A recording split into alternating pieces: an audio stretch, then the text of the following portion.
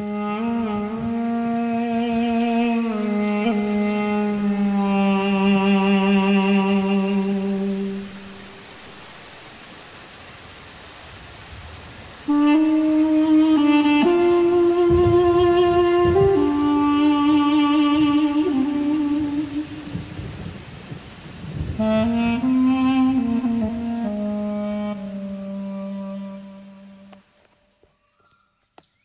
At fifty Rabindranath Thakur road Jibon Smriti his premature autobiography naturally much of his colourful eighty year long life remains untouched here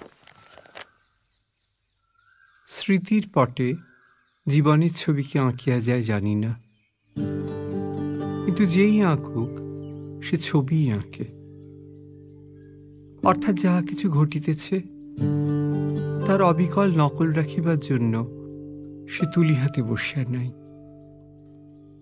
সে আপনার অভিরুচি অনুসারে কত কি বাদ দেয়, কত কি রাখে, কত বড়কে ছোট করে ছোটকে বড় করিয়া তোলে। সে আগের জিনিসকে পাচ্ছে ও পাছের জিনিসকে আগে সাজাইতে বিন্দুমাত্র দ্বিধা করে না। বস্তুত তার কাজই ছবি আঁকা। ইতিহাস লেখানো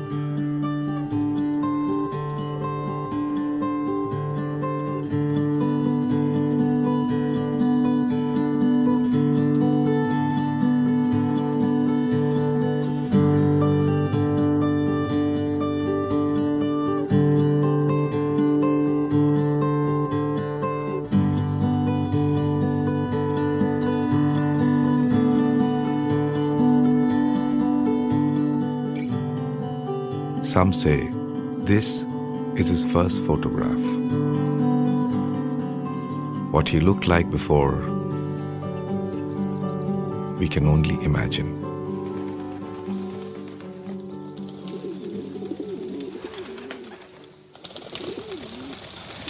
This little boy was born on 7th of May 1861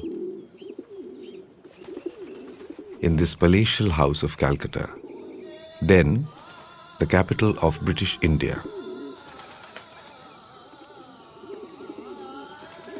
This house, in the northern part of the city, stood apart from all others, ever in pursuit of knowledge, daringly progressive lifestyle, multifarious cultural activities. The youngest prince of the palace, however, was left to grow up as a commoner. Hmm.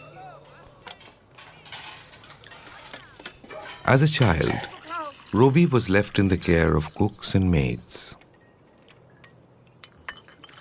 Except on Sunday mornings, when his mother supervised his bath, had him scrubbed and rubbed with homemade fairness packs. She considered Robi, the youngest of her 14 children, to be too dark. Otherwise, he was left pretty much to his own devices.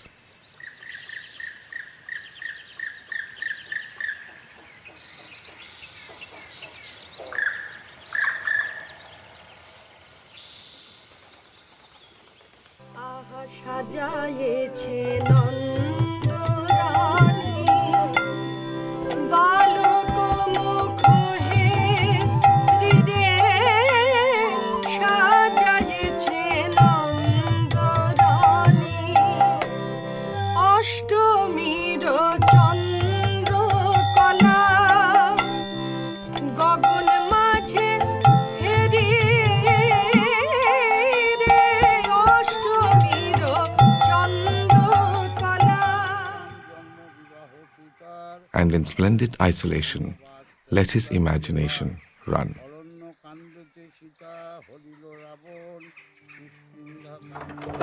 A loner and an introvert, maybe, already his mind traveling far ahead of time.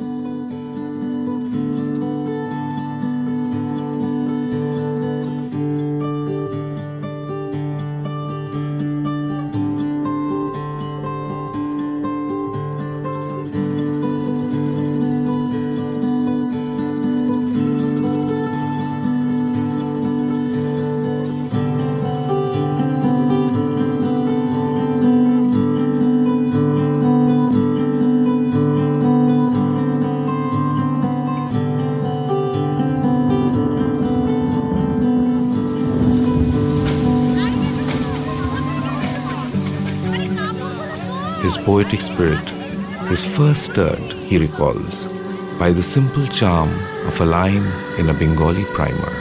Jol pore, pata nore, raindrops, leaves toss.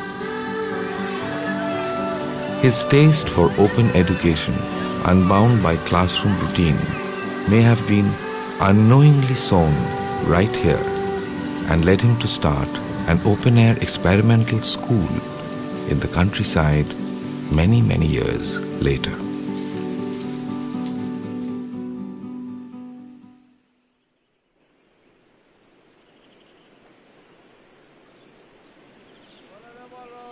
Rabindranath's family has a long dramatic history of ups and downs.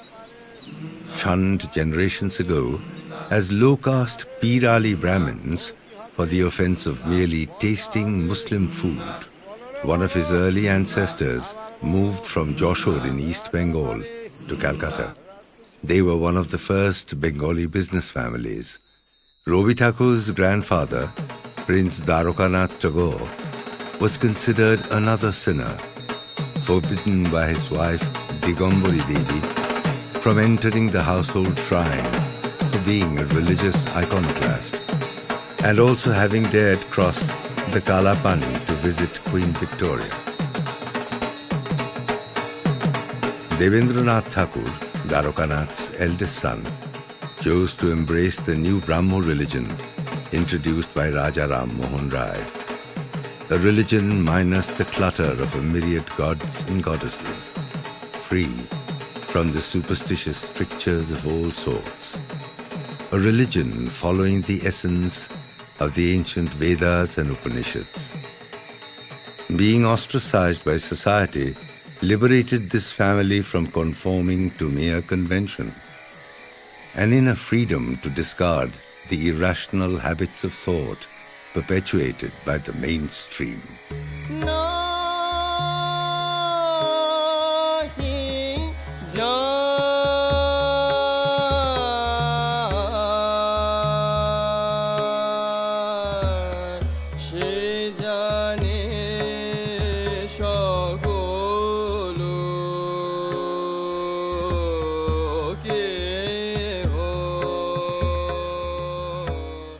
Robi grew up in an atmosphere free of orthodoxies, more radical, more rooted in the core texts of ancient India. We'll never know when or how these prayer meetings sowed in his heart the first seeds of Vedic spiritualism and bathed his mind with music.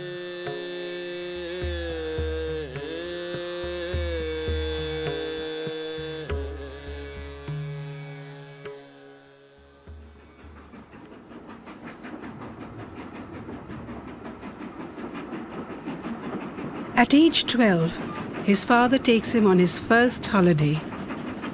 This was the first of many journeys he would take over land and sea. An ever curious mind, ready to explore the unknown from the depths of the human psyche to the mysteries of the universe, even to the spirit world and life beyond death. By the time they reached Bolpur, it was dark. On their way to his father's house, named Shantiniketan, the abode of peace, Robi closed his eyes and waited for next morning to gain his first glimpse of this strange land. That abode of peace is almost unrecognizable today. It is a tourist attraction of sorts. Here, Robi Thakur, as I prefer to call him, himself seems to look like a brand name, a little else.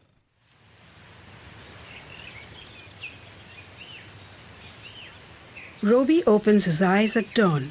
For the first time, he sees a vast horizon open to the sky. He doesn't know then that this very place would one day be linked with his own name more than his father's.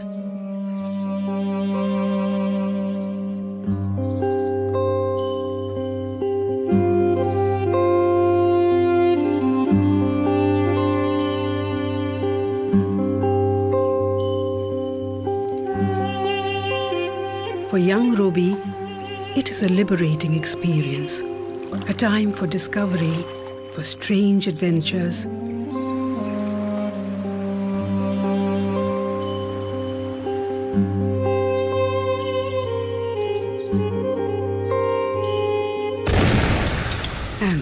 rude shock. It haunted him in curious ways.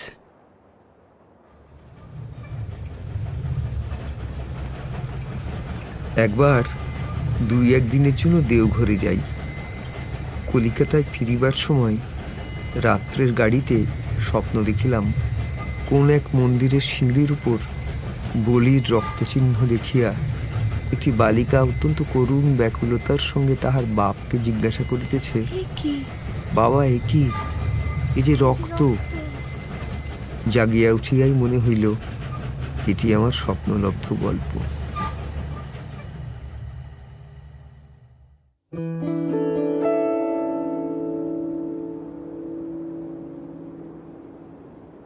From Bolpur to the Himalayas, the journey continues. Father and son coming closer together through bonds of affection, lessons in discipline, and a deep oneness of spirit. এক একদিন দেখিতাম পিতা গায়ে একখানি লাল শাল পরিয়া হাতে একটি মোমবাতির সেজ লইয়া নিঃশব্দ সঞ্চরণে চলিয়াছেন উপাসনা করিতে যাইতেছেন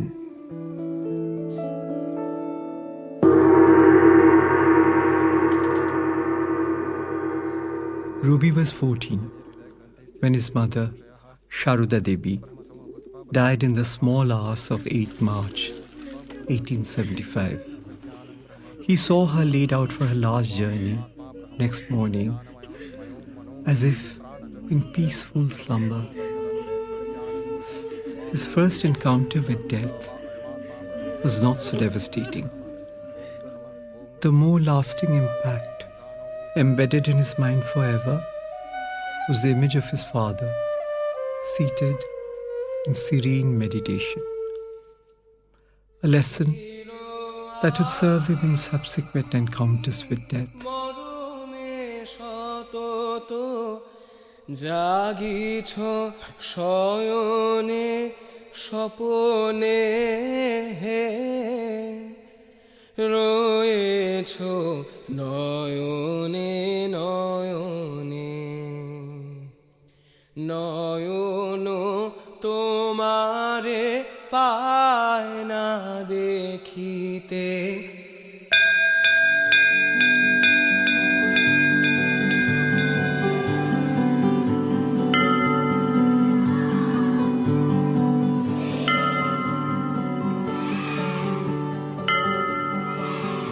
One school after the other. And then, at 15, the rebel within him suddenly raises his head. ব্যাপারটা কি? এ তো তামাশা হয়ে দাঁড়াল দেখছি। শোন আগের স্কুলে যাবি? কথা বলব সেখানে? আবার আগের স্কুল? যা না রবি। নলিন মাস্টারের কাছে লোক পাঠাও। কথা বলো। কিরে রবি যাবি? স্কুলে যাবে না, পড়াশোনা করবে না, ভদ্রলোকের ছেলে মুখ্য হয়ে থাকবে? আহ, অমন করে বলছেন কেন?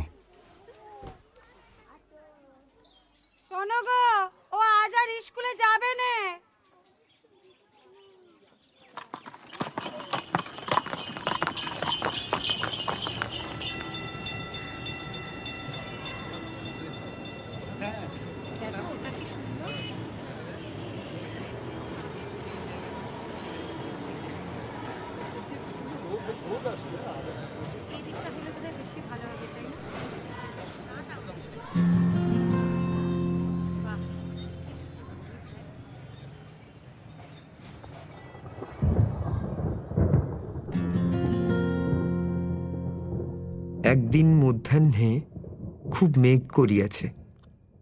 সেই মেঘলা দিনের ছায়াঘন অবকাশের আনন্দে বাড়ির ভিতরে এক ঘরে খাটের উপর উপর হইয়া পড়িয়া একটা স্লেট লইয়া লিখিলাম, গহনা কুসুমা কুঞ্জ মাঝে। লিখিয়া ভারী খুশি হইলাম।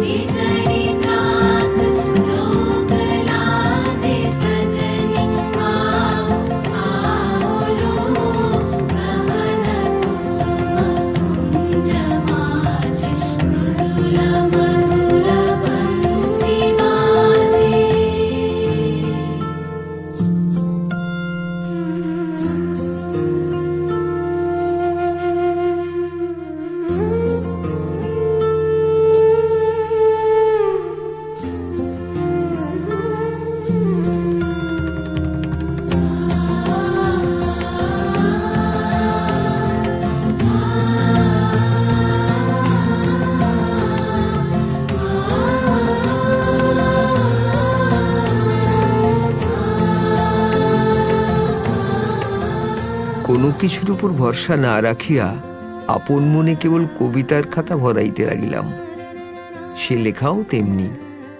মনের মধ্যে আর কিছুই নাই, কেবল তপ্ত বাষ্প আছে। সেই বাষ্প ভরা বুদ্বুদ রাশি, সেই আবেগের ফেনিলতা, অলস কল্পনার আবর্তের টানে পাক খাইয়া নিরর্থকভাবে ঘুরিতে লাগিল। তাহার মধ্যে বস্তু যাহা কিছু ছিল, তাহা আমার নহে। সে অন্য কবিদের অনুকরণ। উহার মধ্যে আমার যেটুকু, সে কেবল একটা অশান্তি, ভেতরকার একটা দুরন্ত আক্ষেপ।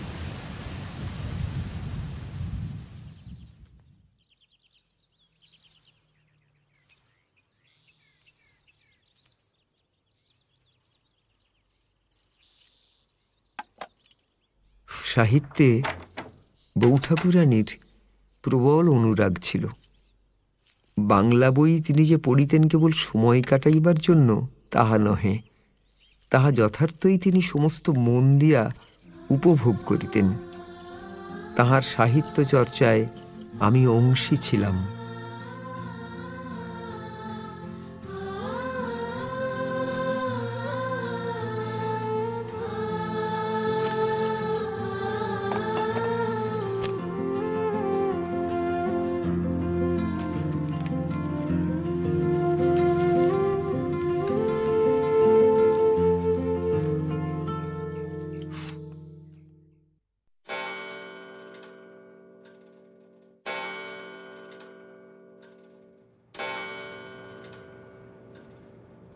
In 1878, a 17 year old stripling is ready to sail to England to complete his formal education.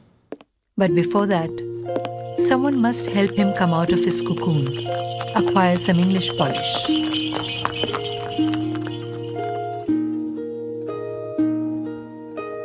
A four month stopover in Bombay is recommended. Here, he's turned over to the charge of the lovely Annapurna, daughter of a family friend, freshly returned from England.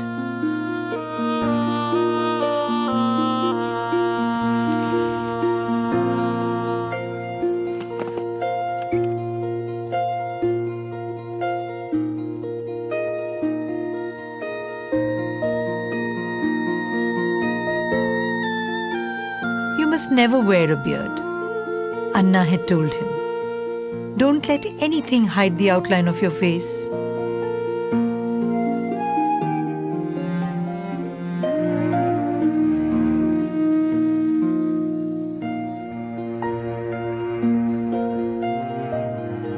We all know that it was a request which he obviously didn't keep. But 27 years later, he did shave off his beard once his father died. But by then, Anna was no more. She had married and settled in Edinburgh, where she died of tuberculosis at the age of 36.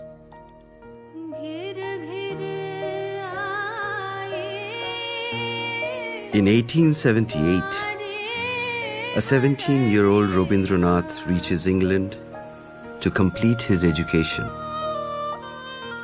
But much more than textbooks, it is young English ladies and old Irish melodies that stimulate his ever curious mind.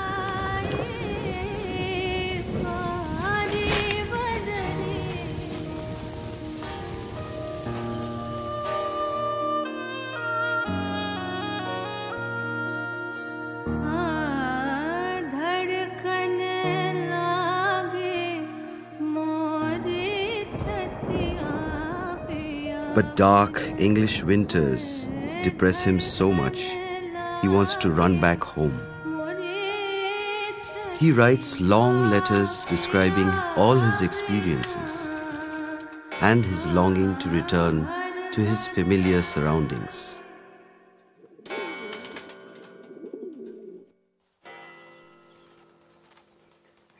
And finally, Rabindranath comes back home without a law degree to a cold reception.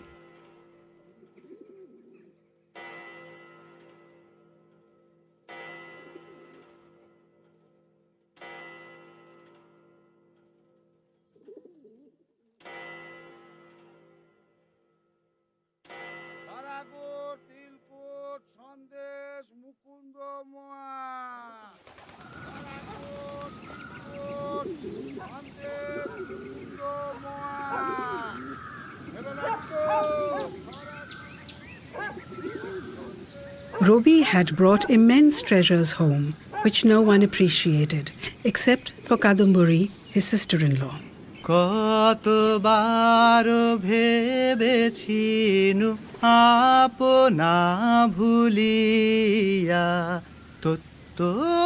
They find soulmates in each other.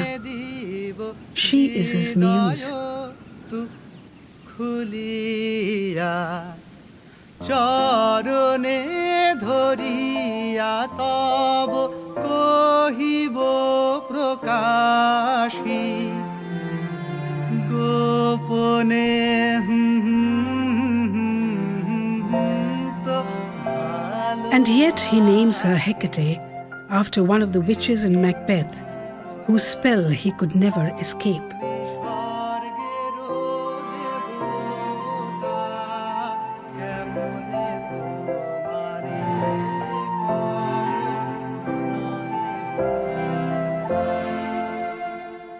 His novella, Noshtonir, The Broken Nest, recalls this relationship in all its stolen moments of tenderness.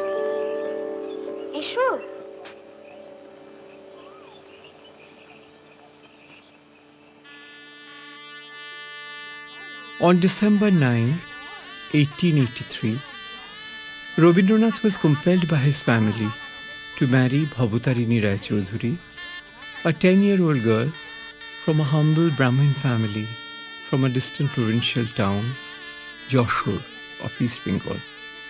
The wedding invitation is written by Rabindranath himself. On the auspicious day of the coming Sunday of 24th Agrohayan, my close relative Sriman Rabindranath Thakur will be married at an auspicious hour.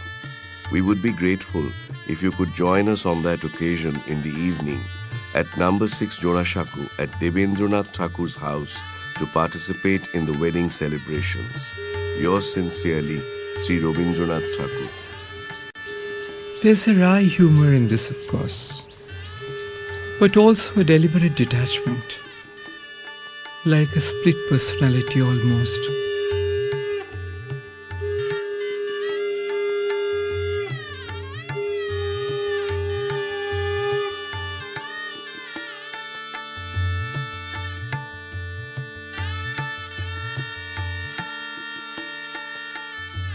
One bound by social convention is being married off by Rabindranath himself.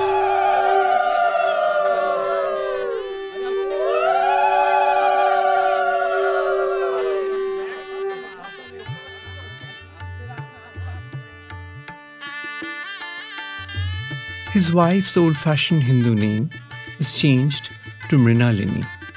And then it's time for a total makeover to the standards of the sophisticated Jorasanko family and its glamorous youngest son.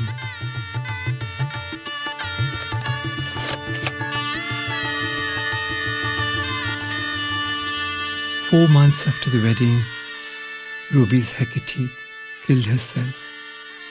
A suicide note was destroyed at the command of the Grand Patriarch Rabindranath, and the whole scandalous episode was hushed up. But speculation is rife even to this day. They say she was neurotic and jealous of her husband's affair with a certain famous stage actress, frustrated because she couldn't bear children. And the final blow, of course, was Robi's marriage. For the poet, it is a tragedy impossible to bear. Try as he might, he cannot emulate his father's serene composure.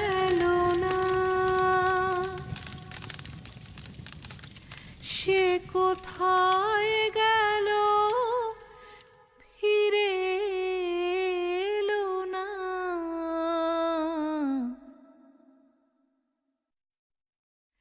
সে যেতে যেতে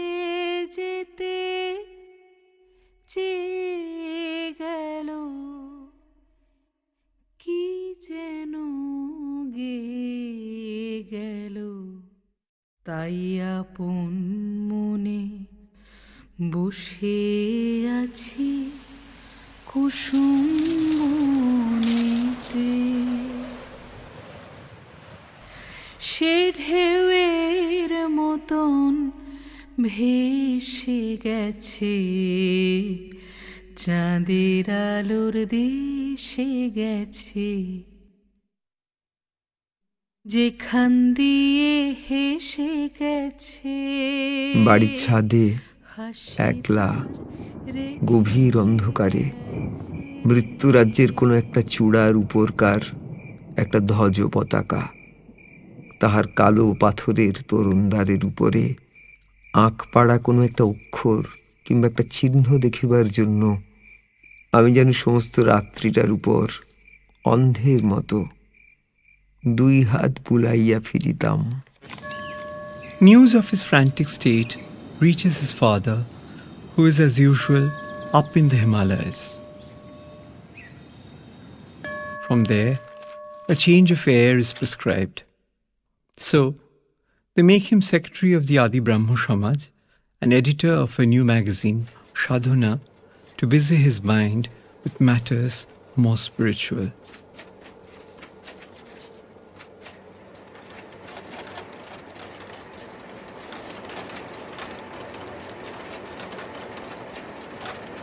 Thus, chastened for some years, the next order from up there is to go off to manage the family estates in Shilaidaho, now in Bangladesh.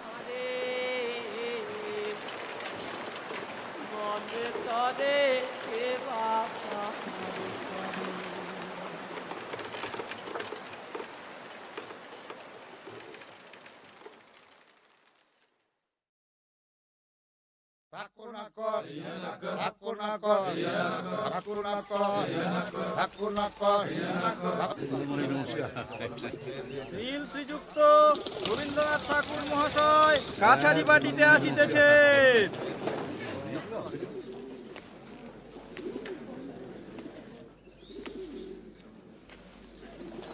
The young landlord meets his subjects for the first time.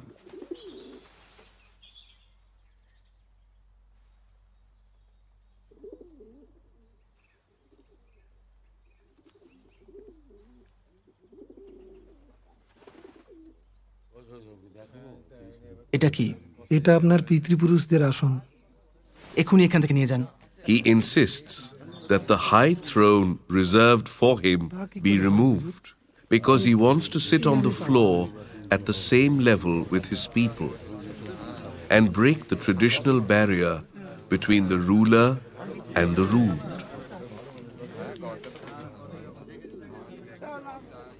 আপনাদের বুদ্ধি আছে বিবেচনা আছে আপনাদের বুঝিয়ে বললে আপনারা বুঝবেন। এসব তো আমাদের মানতেই হবে। We see this ideology expressed again in Nikhilesh, the landlord protagonist in his novel Ghare Baire, The Home and the World.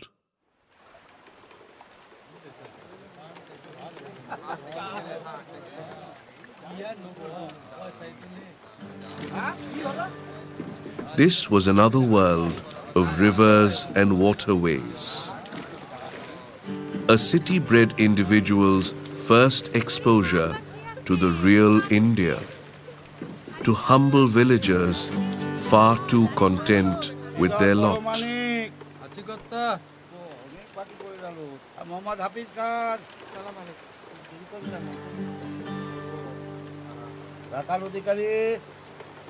By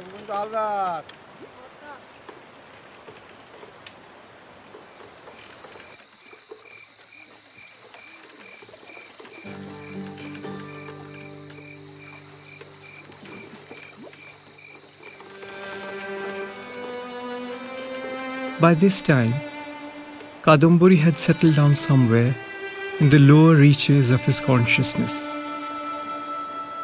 He was hungry for new intellectual companionship, which he found in his well read, English educated, literature loving niece Indira. Between 1889 and 1895, he writes almost 250 letters to her. Funny, lyrical, vivid, exuberant, so different from the warm, domestic exchanges, practical yet profound letters he wrote to his wife. Perhaps his vivid personal letters to Indira marked the beginning of a new long distance relationship. One of the many barely physical, mostly platonic love interests you'd have over the years. An expression surely of enormous appetite for life and the great self restraint he practiced to stay within the bounds of social propriety.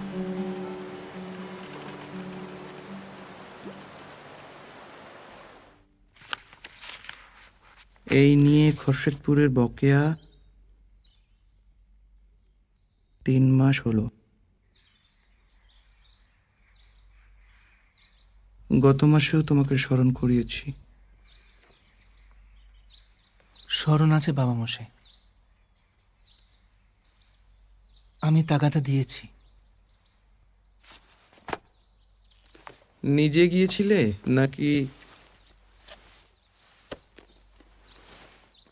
লোক পাঠিয়েছ?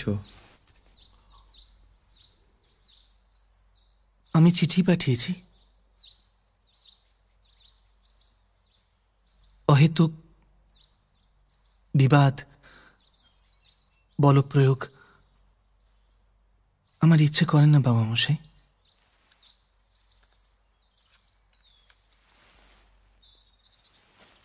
বিবাদের কথা বলছি না। কিন্তু জমিদারিতে পত্র সাহিত্যের কোনো স্থান নেই। হয় নিজে যাও, নয় লোক পাঠাও।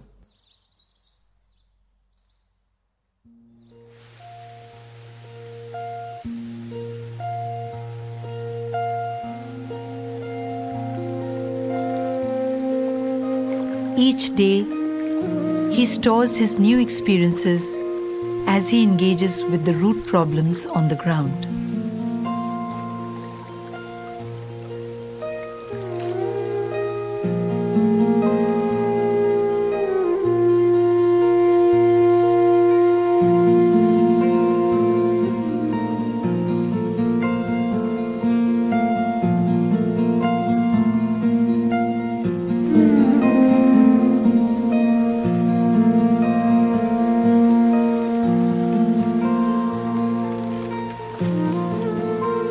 Tries to write short stories about ordinary people, full of sensitive details and a stark realism.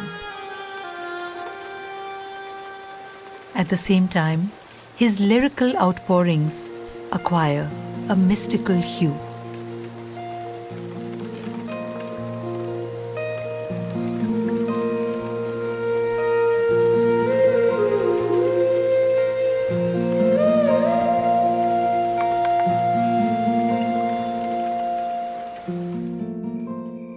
ডাকছিলেন?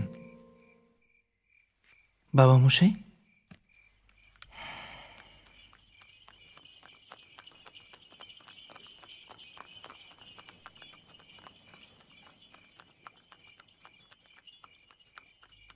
শুনলাম তুমি নাকি কুঠি বাড়িতে থাকার পাট তুলেই দিয়েছ।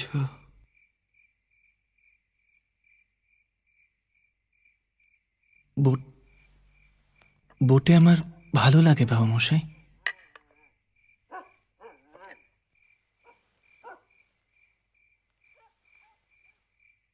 কতটা আকাশ দেখতে পাই। কতটা জল। দূর দিগন্তে মনে হয়। শুধু আকাশ আর জল দেখলেই চলবে? জমিটাও যে দেখতে হবে? সেটা?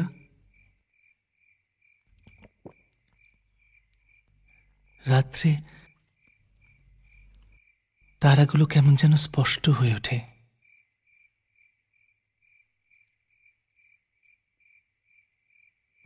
মনে আছে? বাবা মশাই আপনি আমাকে কাল পুরুষ চিনিয়েছিলাম।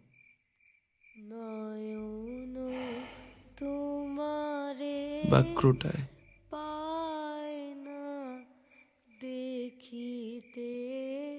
মনে আছে? জানো?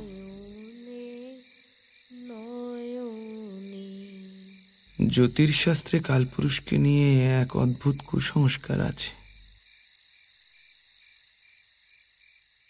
কিংবদন্তিও বলতে পারো। কিংবদন্তি?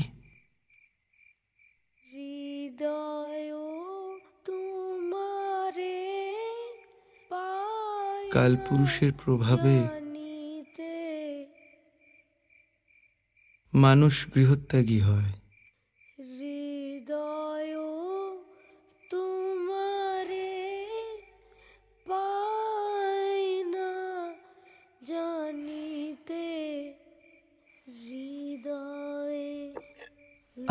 একা একা মুসরিতে থাকবেন না বাবা মশাই। আমাদের দুশ্চিন্তা হয়।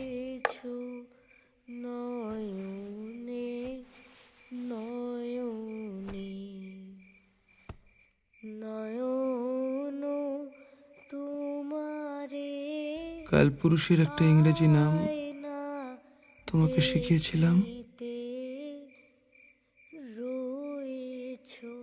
মনে আছে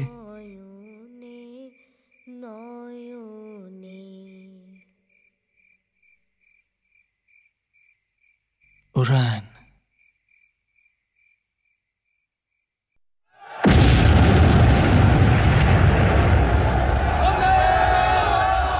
In real time, however, the country is in turmoil. The nationalist movement is taking off. Protests resound in the streets of Calcutta.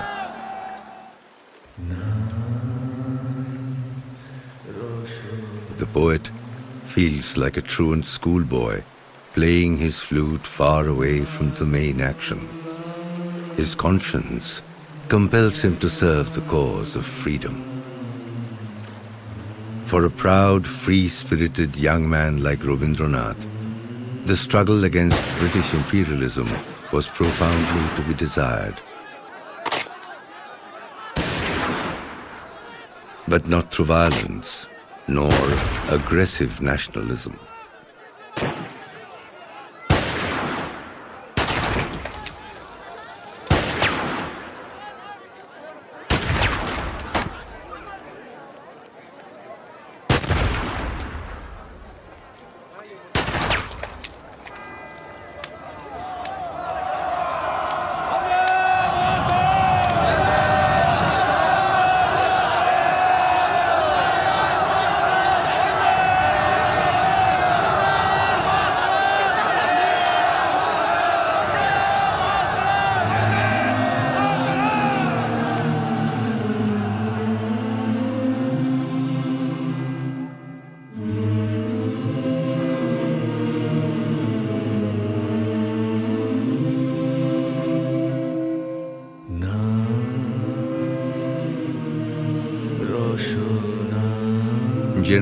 Disgusted by the growing mass hysteria and emotionalism encouraged by callous political leaders, he was absolutely horrified by the violence that started erupting. Terrorism had raised its ugly head.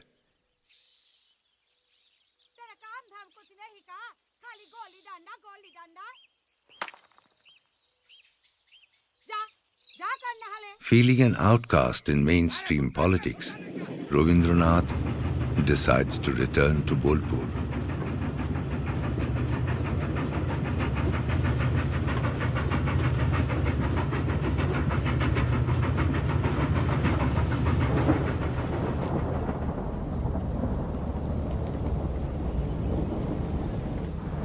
Our next trip to Shantiniketan, this time by car.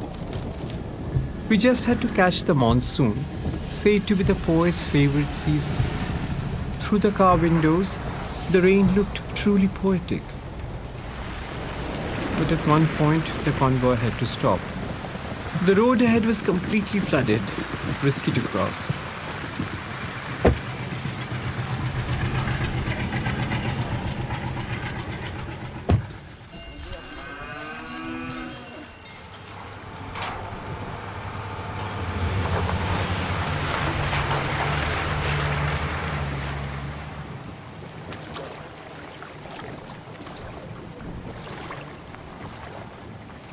The mud, the slush, it was too much for us, the city bred people, to take.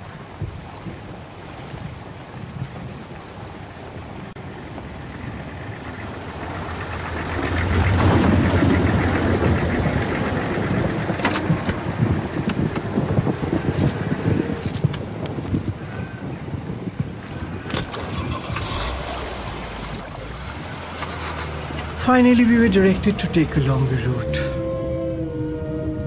And now, there's no poetry left in the rain. All we saw were vast lakes on either side, drowning the paddy fields and village huts, and left the people homeless. I guess one has to experience this dismal reality, the real India before entering the land of his poetry.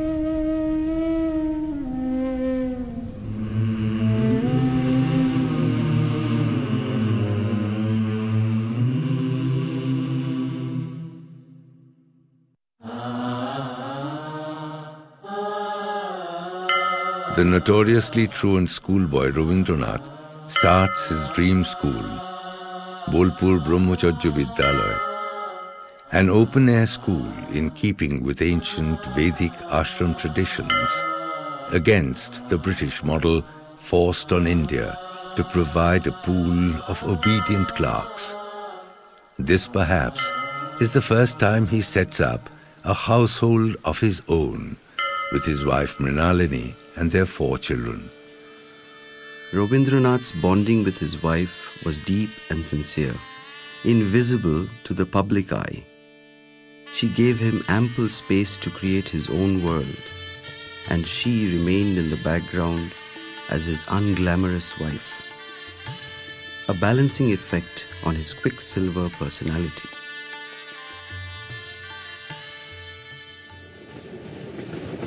But the city calls him back again in 1905. In protest against the proposed partition of Bengal along communal lines, we see him plunge into social action. October 15, 1905. The women of Jorasanko stitch stacks of rakhis all night long.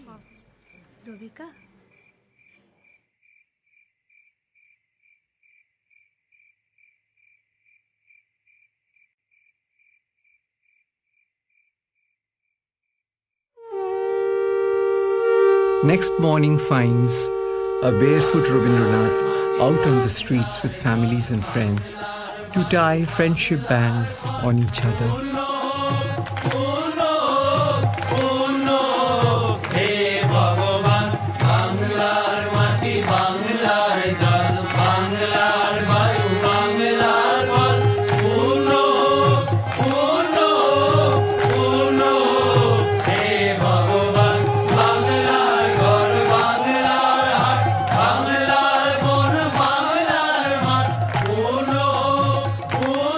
The poet ties Rakhis even on Muslims as a symbol of brotherly love.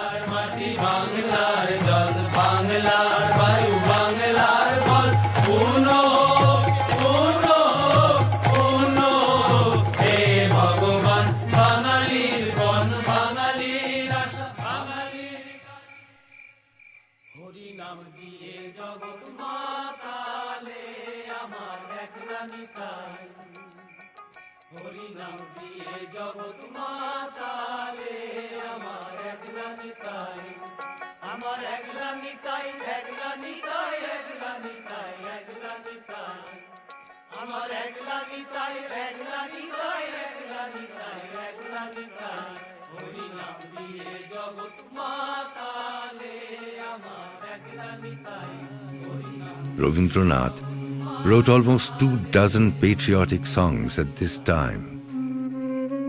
The impact of such occasional songs is usually short lived, but our poet has infused them with such eternal appeal that they continue to inspire generations of Bengalis, even today.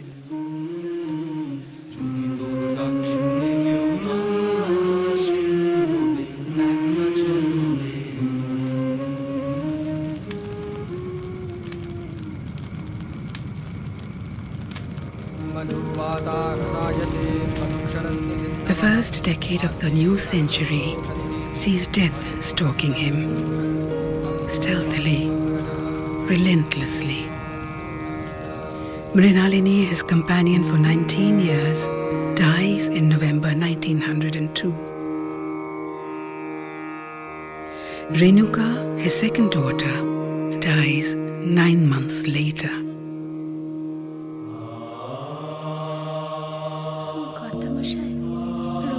His father and guru, Maharshi Debendranath, dies in January 1905.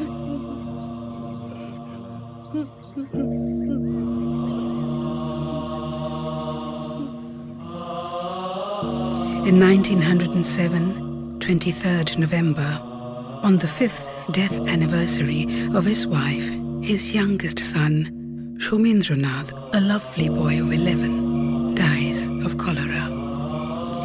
He remembers Shomi's death 25 years later as the most poignant sorrow of his life.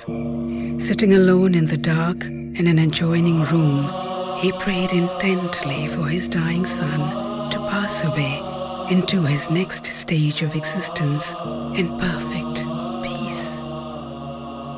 My mind seemed to float in a sky where there was neither darkness nor light, but a profound depth of calm, a boundless sea of consciousness without a ripple or murmur. I felt like a father who had sent his son across the sea, relieved to learn of his safe arrival.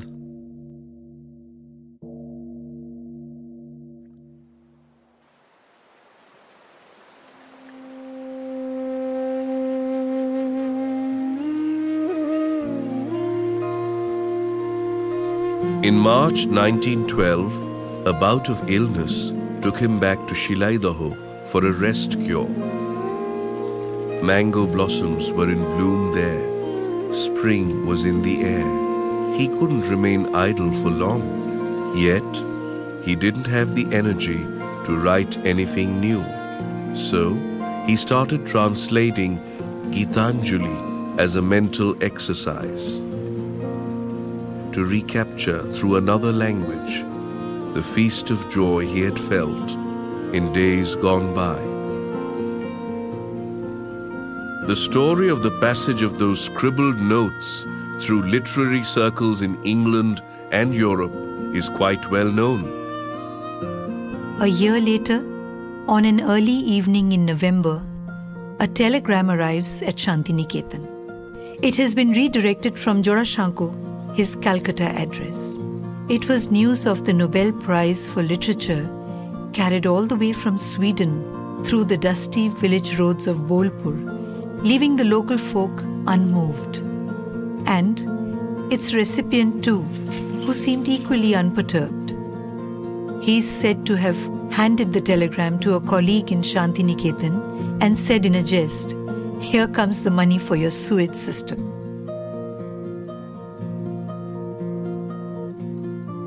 He knew all too well how fleeting could be any joy, any fame.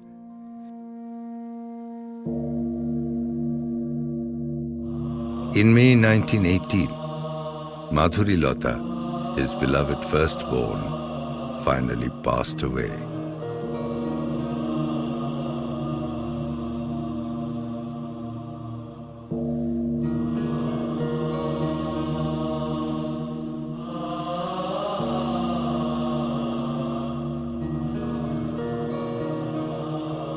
The image of his father in deep meditation in mind, he mourned the loss of his favorite Bela through engagement with a higher purpose.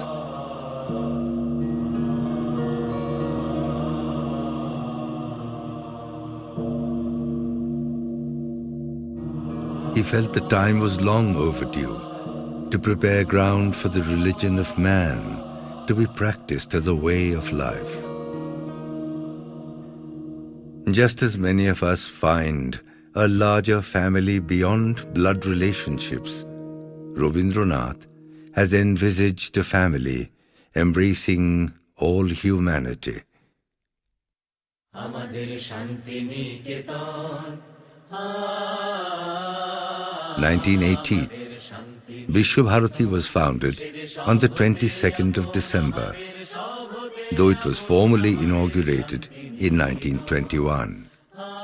Its motto, where the whole world meets in one nest. Here he would gather the best minds from east and west, from all over India and from overseas. To him, Vishwabharati would represent the quintessential wisdom of India, nurtured and nourished through ages of give and take with the rest of the world.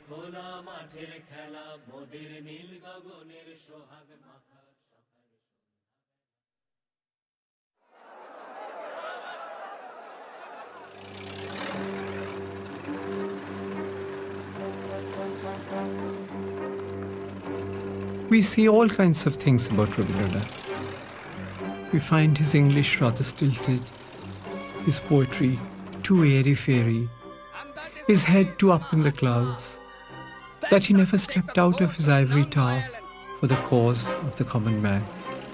But that one single letter of protest was an act of courage unmatched to this day.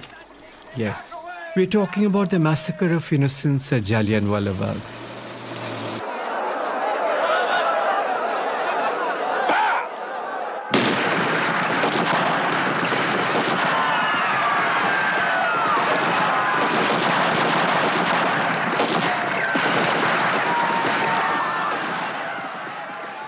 While the nationalists were busy negotiating for seats in the parliament, and even the firebrand politicians were scared to protest, one solitary voice disproved all those allegations against him. He resigned his knighthood like a torn, discarded garment.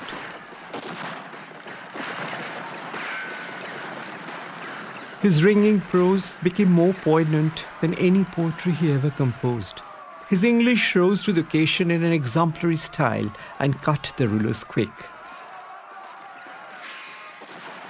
His compassion spilled out spontaneously for some distant countryman whose martyrdom was buried in hushed silence.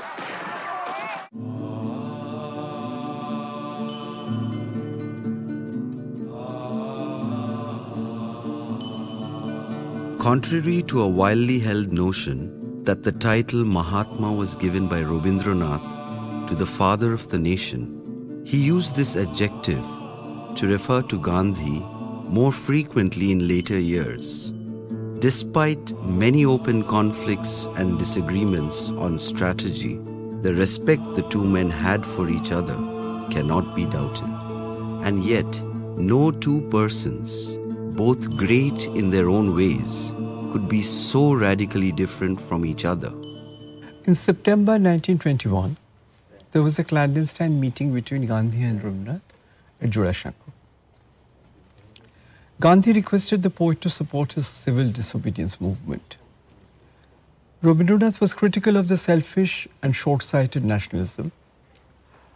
The conversation went something like this Rabindranath says, Suppose you succeed in driving the British out. What happens then?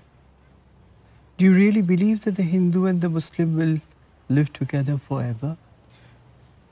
Gandhiji says, but Gurudev, you know very well my whole program is based on non-violence.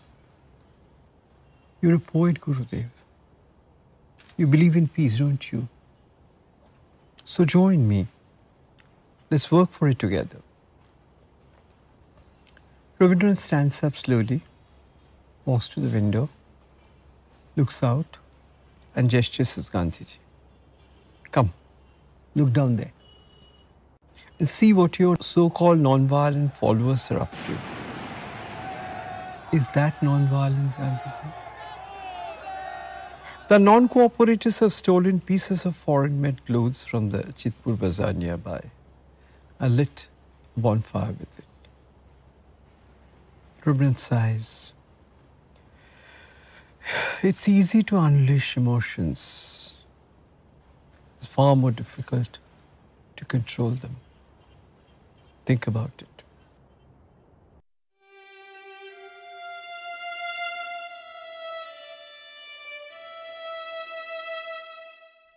Nineteen twenty-six, Potsdam, Germany. A little brown wooden house on a hillock, with a roof of red tiles. Tall palm trees surround it like watchmen. After a profound philosophical discussion with Albert Einstein, Rabindranath and his companion are on their way again. Abhiyo, Abhiyo,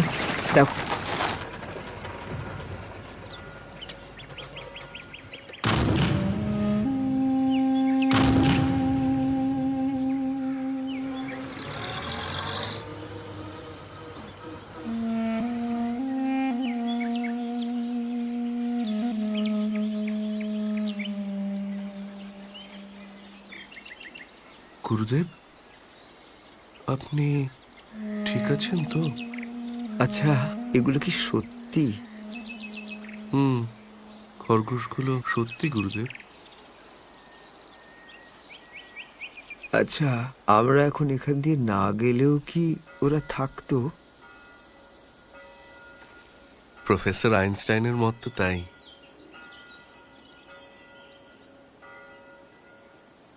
Albert এই ভুলটাই করছে। এইটাকেই সত্য বলছে। গুরুদেব দেখে।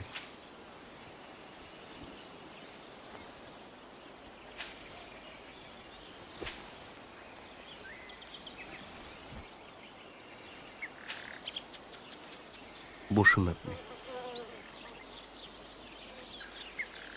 আচ্ছা Albert তো গুণী মানুষ। বুদ্ধিমান মানুষ। কি চমৎকার বেহালা বাজায়। ও কি সত্যি বুঝতে পারছে না? নাকি জোর করে বুঝতে চাইছে না? মনটাকে বন্ধ করে রেখেছে। নইলে আমার কেউ দেখলুম না, জানলুম না। একটা ঘরের মধ্যে আছে বলেই সেটাকে টেবিল বলে মেনে নিতে হবে।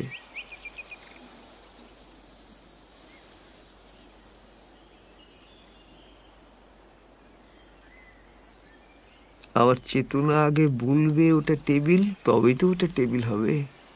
কিন্তু ওটা তো ওখানে সত্যি আছে, গুরুদেব। এই সত্যটা আপনি অস্বীকার করবেন কি করে? তুমিও আবার অ্যালবার্টের মতো করো না আমিও। এই যে আমাদের চারপাশে গাছ, পাথর, মাটি, ঢালু জমি, সবুজ গাছের পাতা। এটা যে সবুজ, সেটা আমাদের কে বলে দিলে? আমার চেতনা। আমার চেতনা যেটাকে যেভাবে সত্য বলে স্বীকার করে, সেটাই সত্য। মানুষের চেতনার বাইরে কোনো সত্য নেই। থাকতে পারে না। বিজ্ঞানী শেষে বললেন, বটে। মিস্টার টেগোর তাহলে বোধহয় আপনার থেকে আমি বেশি ধার্মিক।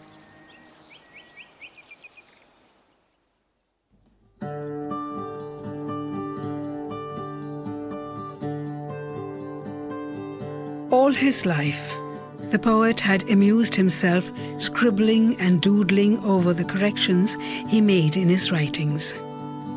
We see them strewn across all his manuscripts. Some like prehistoric creatures, some dark eyes peering through dense ink, imaginary human forms, or simply leaves and ferns. We were all quite familiar with these playful forays he made with pen and ink, right up to the age of 70. But when he took up a paintbrush in his old age, he seemed to embrace a new love, a whole new means of expression, through which he could break all conventional norms of creation in verse or prose. No rules, no grammar, just uninhibited alliance with his new love, which opened new vistas for Indian art.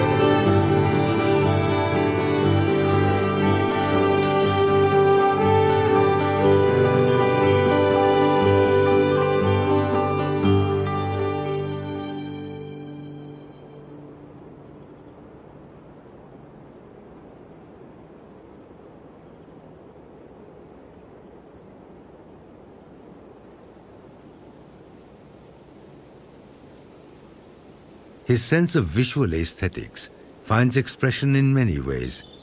He keeps building new houses, shifting around experimentally with new styles of Oriental architecture and decor, almost as a metaphor for his all eclectic mind. Far removed from the original building in the campus, Shantiniketan Griho, a two-storied mansion built by his father in the typical British colonial style.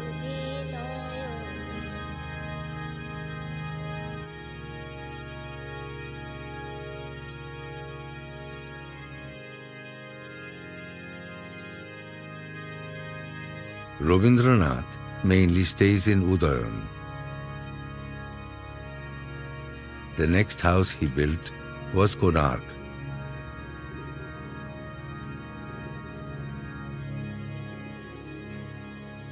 Third was a mud house, Shyamali, inspired by the local villages. He thought this would be his final refuge. Still, as an afterthought, he shifts to a small one-story bungalow called Punoshcho.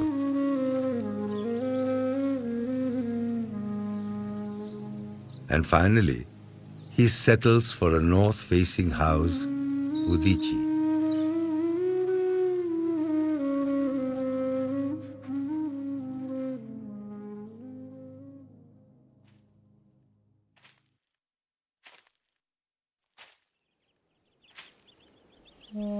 But, like all mortals, his physical being starts letting him down.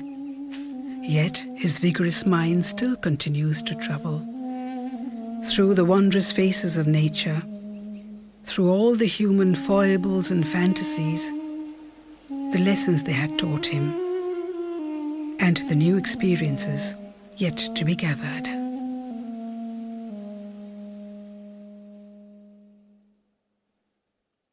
One fine day, the poet decides to shear off the tresses he had been so fond of.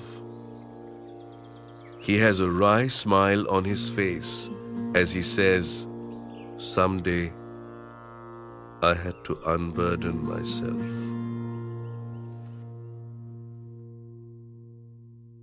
In 1939, Rabindranath was ailing severely, unable to get out of bed. He is almost like Amol from Dak Ghar, a play he has written in 1911 about a little ailing boy waiting for an invitation from the king, a poetic metaphor for death.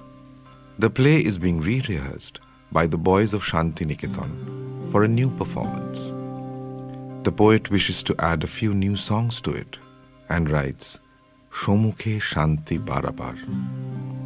But on second thoughts, he puts it away, reserving it for his own funeral. However, Dak Ghar was not staged this time. On 25th July 1941, the poet leaves Shantiniketan for Calcutta. And thence, for the longest journey he would ever make,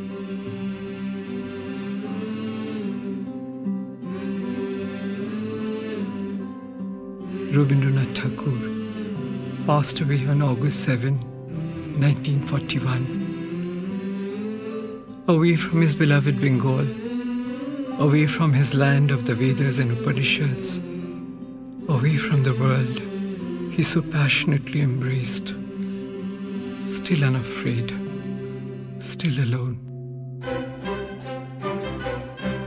In 1942, one year after the poet died, Janusz Korczak, a Jewish physician and cultural activist, staged Rabindranath's play Dak Ghar, The Post Office, in Warsaw, performed by the children of the Auschwitz concentration camp.